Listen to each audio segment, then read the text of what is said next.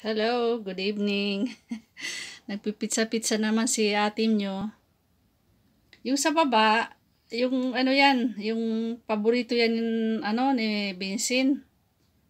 Na may ano, may bagoong, may tomato sauce, capers, capers, capers. Ayun ko. Capper man ang tawag nila.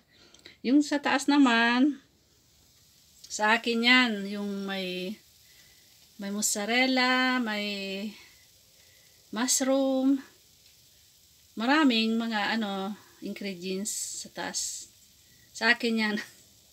sa aming dalawa. Hindi ko naman maubos yan. Sana malapit lang kayo, oh, mga sister ko.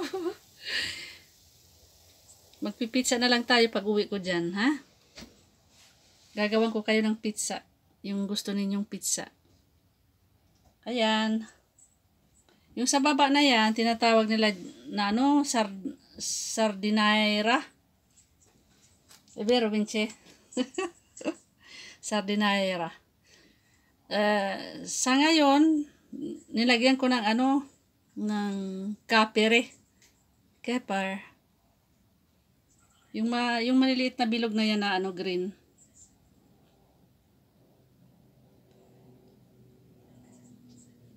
Yung sa taas naman, ano yan, tinatawag nila, 4 stagione. Kasi 4 stagione, kasi ano, may mushroom, may atsuge, yung bagoong, parang bagoong sa atin.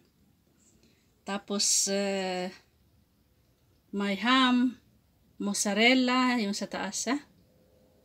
Yung sa taas yan. Yung sa baba, maluluto na. Sardinaira. Paborito yan ni Vincent. Kaya ginagawa ko. Ayaw kasi niya ng ano, yung maraming mga ingredients sa taas. Gusto niya yung simple lang na ano, may bagoong, may tomato sauce, may capers, may olive oil sa taas, tsaka oregano. Yan lang. Saka, siyempre, yung pasta fresca.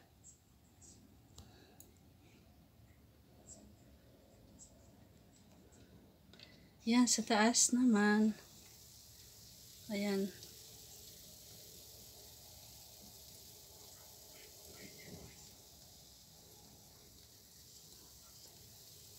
Sana malapit lang kayo, mga sister ko. Okay, close ko na kayo. Sayang yung ano. Yung init. Lalabas yung init ng ano, oven. O sige.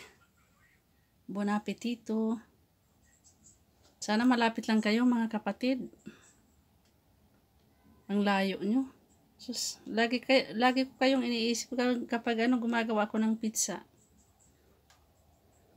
Gagawan ko kayo ng kahit anong gusto nyong pizza pag uwi ko dyan. Sana makauwi na ako dyan. Miss ko na kayo. Advance Merry Christmas to all of you, mga relatives ko, tsaka mga uh, kapatid. Okay. I-upload ko kaya to. okay. Advance Merry Christmas.